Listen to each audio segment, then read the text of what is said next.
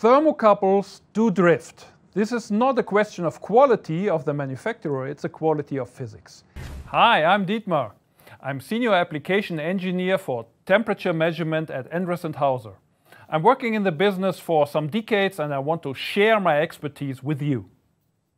You have to expect a drift and the literature says this could be 3 to 6% of the reading in a year. Live with this. How can this be? How this works in real life. And the theory in behind is a thermocouple consists because of the difference between new two new wires, two new alloys. So in this example, if a new thermocouple, one wire is red, the other is blue, yeah, because their alloys are different. They, this difference is producing the Seebeck voltage, the thermoelectric effect.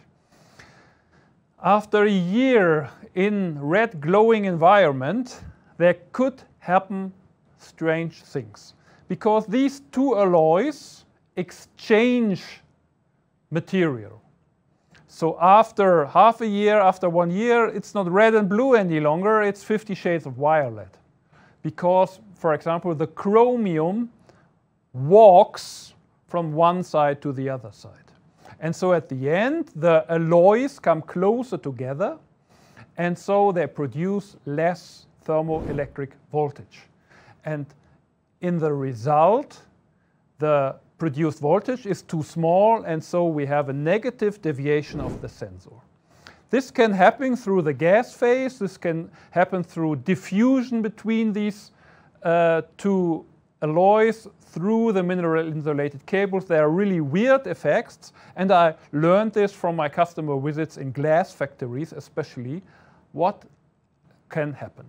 And so what can you do against this? Really nothing. This diffusion is triggered by the temperature, and uh, the only way you can be sure that your temperature measurement is accurate as you have seen in the standard in the previous episode, the standard is only valid for new wires, so you have to exchange thermocouple quite regularly if you're, you're operating them in a safety critical application. That's the only thing you can do, exchange. Hope you like it.